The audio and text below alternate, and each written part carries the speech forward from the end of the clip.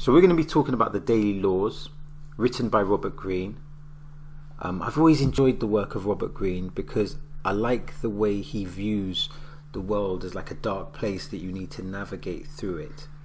Um, it's almost like he's got this Machiavellian perspective, and I think that's really honest. I think he may refer to that as intense realism. Anyway, when you look at this book, The Daily Laws, it has a different type of setup because each page is like different types of wisdom, and the chapters are actually months. So, like, chapter one is January, chapter two is February, chapter three is March, etc.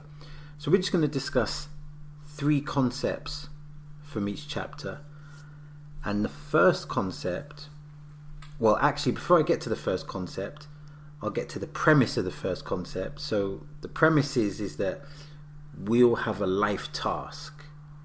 And what's underlying this is, quote, all of us are born unique, end of quote, meaning that our DNA is unique, but we need to find our life task, which is defined as, you know, your purpose.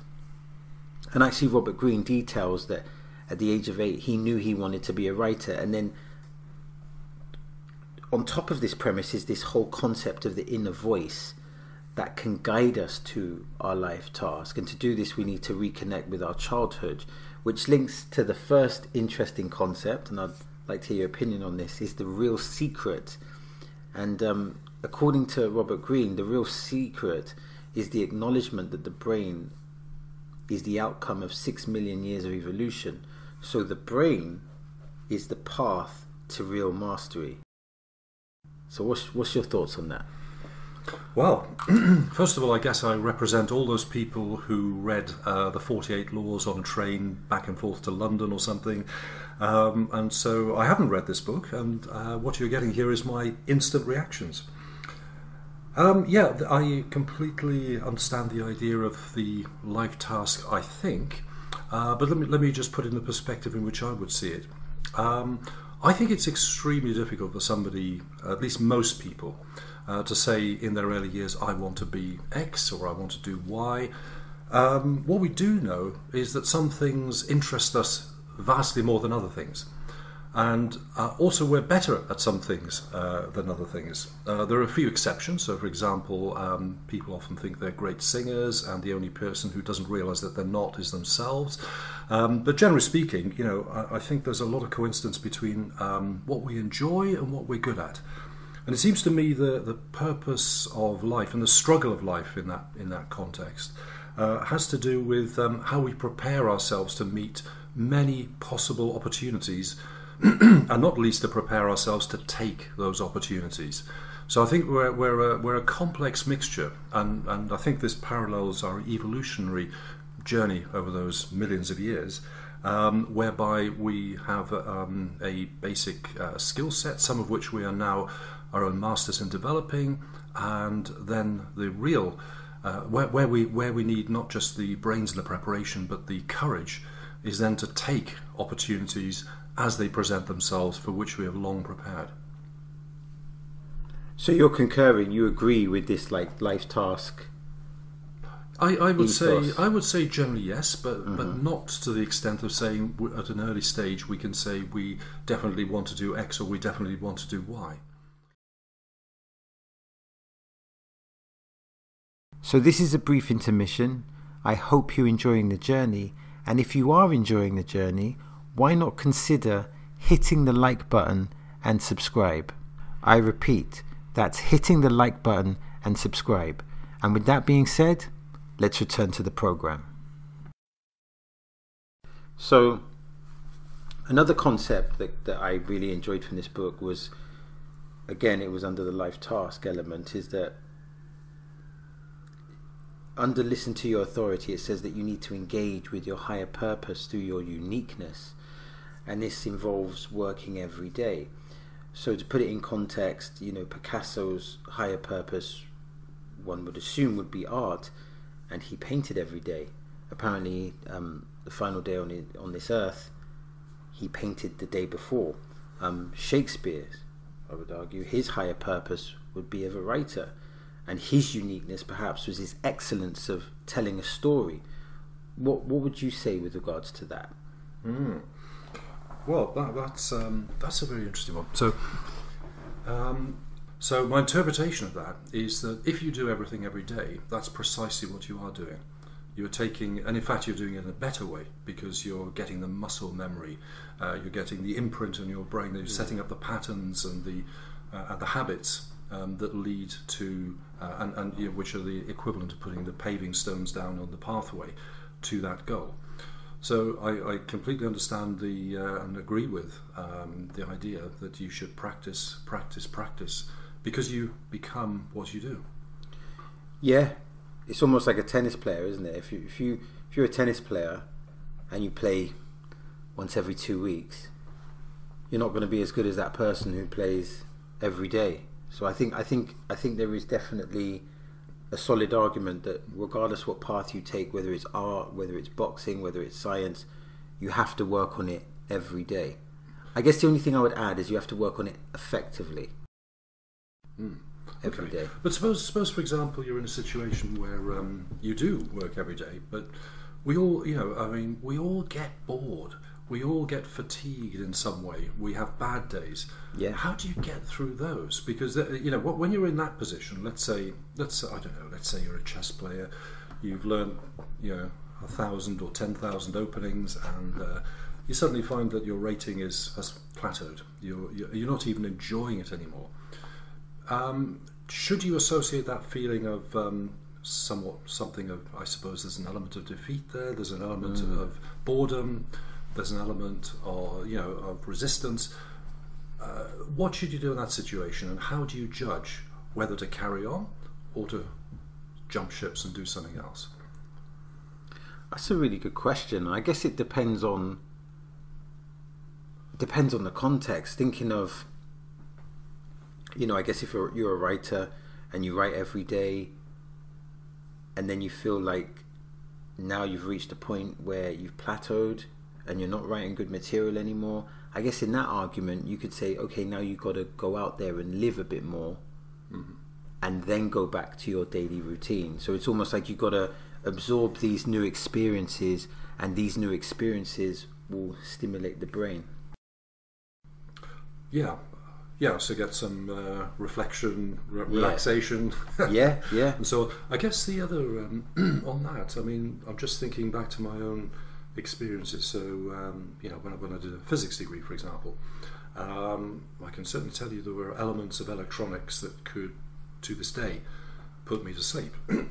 um, the you know you have to take the rough with the smooth and the interesting bits. Um, uh, but I think in that situation, what kept me going was the fact that I had, uh, if I kept going, I would achieve a goal. I would get my certificate. I would um, actually have a, a you know a, a mark in the sand that I, that I could use for the rest of my life.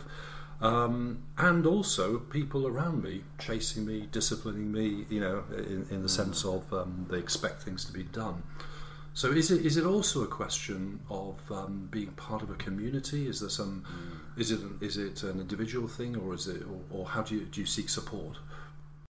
So the next part of this first chapter, and to conclude this particular part, is um, I, I believe the heading is "Let a sense of purpose guide you," and there's this premise that is set out that modern society, the larger pers- the larger purpose is missing, and previously this purpose would have been sup- supplied by an organized religion. So here it's saying, you know, this sense of purpose, it needs to guide you.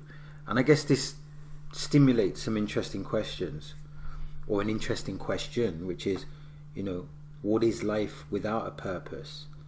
And how do we find our life's purpose? And I guess the way Robert Greene would answer that is to tapping into your unique DNA and listen to this inner voice. So when, when you know when he says like let a sense of purpose guide you, I guess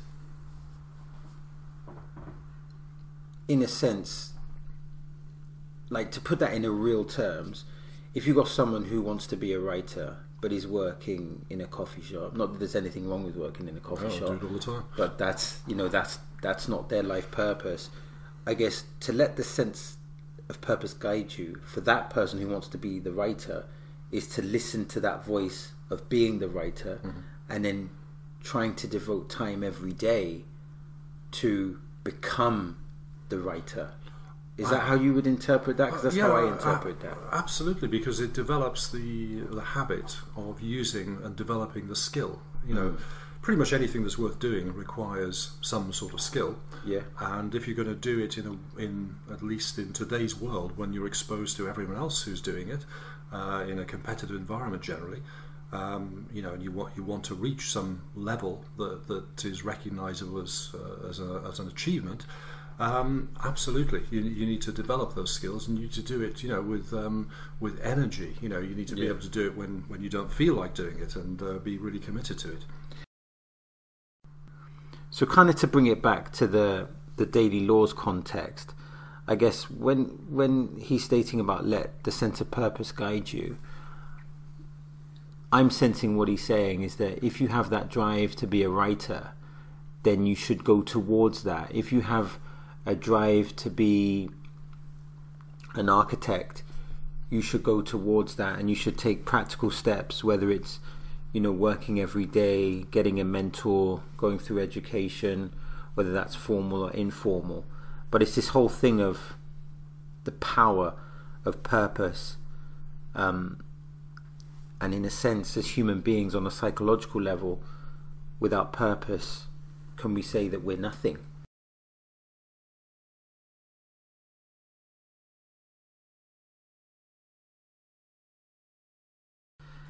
And I guess to conclude this chapter, and I don't know if you agree with this, I think with regards to the real secret, so it's not the law of attraction, the real secret is to understand that the brain is the outcome of six million years of evolution, and therefore our brains are, you know, they're, they're, they're very primed and ready to do the job, the job being of real mastery. I, I think there's some power in that message.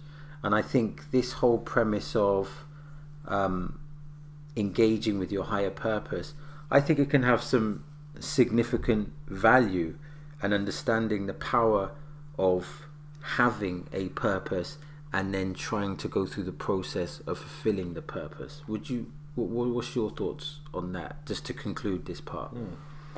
Well, all of this is nothing without action. So the key word there, I think, is fulfilling the purpose, and, and I think that um, activates the theory uh, and uh, stimulates things like, uh, as you mentioned, the practice, the rehearsal, the um, you know the the doing, uh, learning by doing. Everything is about doing ultimately. Um, so yeah, I com- completely uh, agree with the ideas there, but I have a huge misgiving in all of this, which is or or a doubt, which is there are people I think uh, who, uh, however hard they search, can't find that purpose or can't find that drive or direction.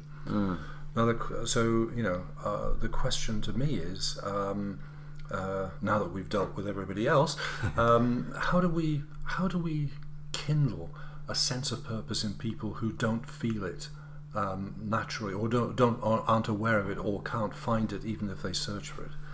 That's a good point because it's almost like the premise of the book is that find your inner voice, meaning that you have an inner voice. Yeah. Mm-hmm. What do you do if you don't have an inner voice? How do you find that inner voice? Mm. And I think that's a very logical Well, point it might to be make. meditation. Yeah, yeah, yeah. Might be asking friends. But clearly, he had that inner voice since he was eight. Absolutely. So it's not a question. He didn't need to find that inner voice. But like you said, some people they may need help in finding that inner voice.